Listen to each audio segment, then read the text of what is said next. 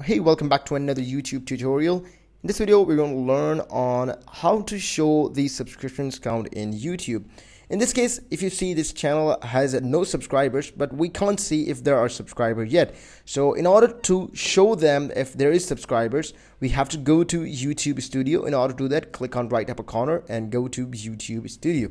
As you click on YouTube Studio, you will reach out to YouTube Studio all you have to do is scroll down and you can see on the left lower corner an option called settings. Click on it.